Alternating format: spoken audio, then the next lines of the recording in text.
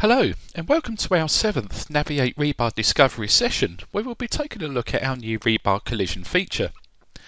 Rebar clashes can cause serious problems on site leading to unnecessary bar congestion and expensive rework. These problems are much more significant with the larger diameter bars that can simply not be moved or sprung to avoid other rebars.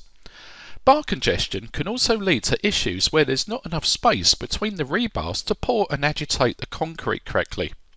Fortunately, modelling the rebars in 3D does allow us to visualise the rebar arrangements much easier than if we were still working in 2D. However, it can be quite time consuming to manually check all of the relevant rebars for clashes. So our new rebar collision feature has been specifically designed to allow for efficient checking and clashing of rebars directly in Revit. Let's now take a look at some typical examples. So I'll begin by switching the view and we'll just go into a normal 3D view. Now going back to what we were saying about congested views and congested models, you can see some of the problems here. We've got quite a lot of rebar going on in this project, so it's going to be very difficult, even in a 3D view, to manually check for potential clashes and collisions. So let's look at our Naviate tool in action now with one of these foundations. So I'll start with this one here. Now we can either select the reinforcement first, or we can select the host, like this, or hosts, and then we can go ahead and use our rebar collision tool.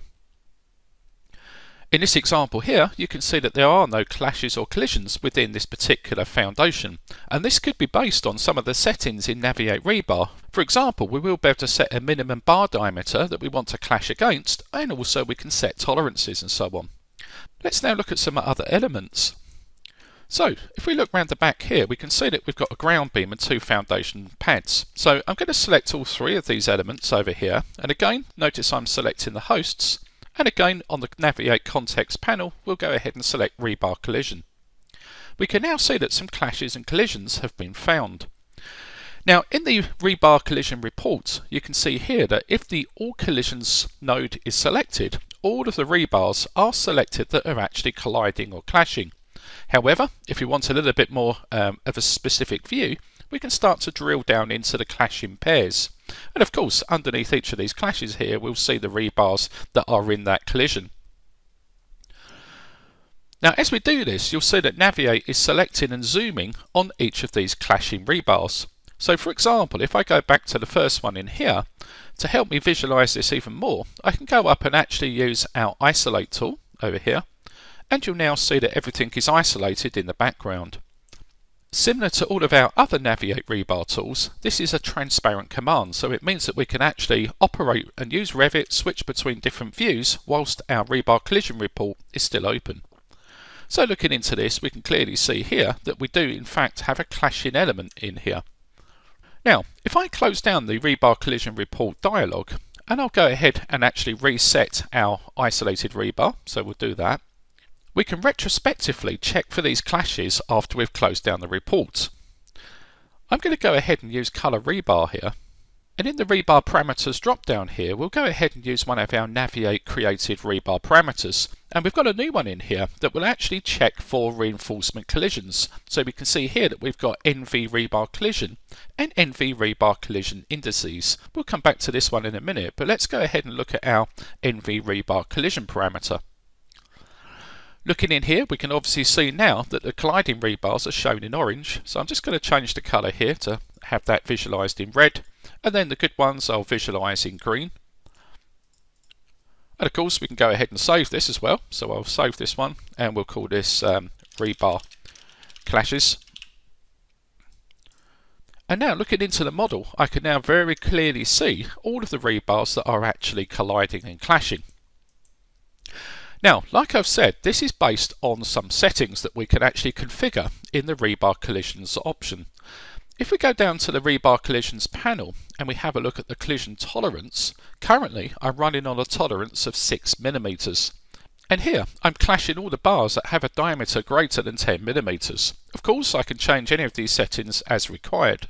Another thing that the rebar collision tool will do is if you have two parallel bars that are lapping but they're not actually displaced, so technically they're clashing, we will ignore that. So let's just have a look at some of those situations. So you can see here I've got these uh, rebars over here and if I zoom in over here I can clearly see that I've got another set of rebars here that are actually clashing. And again, just to help us visualize this further, we can go ahead and isolate those rebars, like so. So we can inspect this in closer detail. And of course, you can see very clearly now that those rebars are actually colliding. However, you can see that the Naviate rebar collision tool is not reported on that collision. And of course, a lot of the time you might not have the time to physically offset these rebars so that they're not colliding, but we just simply want a lap in that place. So that's quite a nice feature. Okay, so I'll close down the colour rebar dialog.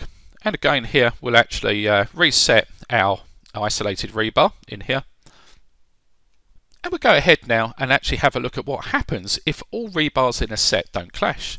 So looking around here, we can see that we have some varying reinforcement, obviously in a rebar set, and we've got a single rebar here that's actually clashing.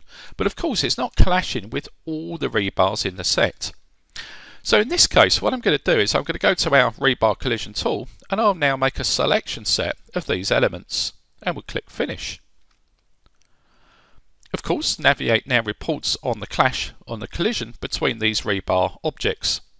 And if I now close down the reports dialog box and I select the rebar set that's been clashing in here, looking into the properties we can see now that we've got NV rebar collision parameter which is obviously colliding so that's what we use the color elements to visualize but equally here we can see that we've got our NV rebar collision indices so currently we only have bars 2, 3 and 4 that are colliding with this bar here and that could be quite an interesting report of course, if we've got all the bars in the set that are colliding, then we'll see that as well. So if I pick this rebar set here, I can see now the indices are all in collision. So I know that every bar here is colliding with something else.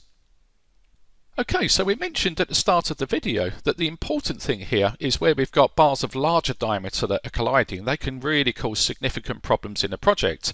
So let's now change the rebar collision settings. So again, in the rebar collisions panel, We'll change the tolerance now to 0 and we'll set the minimum rebar size for clashing to 16. We'll then go ahead and clash all the rebars in the project. So to do this, we can select our rebar collision tool first. We can then window select everything in the project. And then we'll go ahead and select finish on the options bar. And we can then see the rebar collision status, checking all of the clashes. Of course, we can see various different clashes around the project now.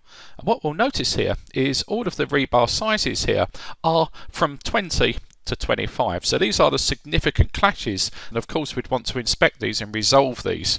So again we can use the rebar collision report to actually select the clashing rebars and zoom to them. But once again we could also use our color rebar tool. So again on the rebar tab we could select color rebar Again, in the rebar parameters here, we can go down and select our NV rebar collision. Or of course, I can just revert back to my saved version inside here. And we can now see all of those colliding rebar. And as we've said, we could now start to resolve some of these clashes.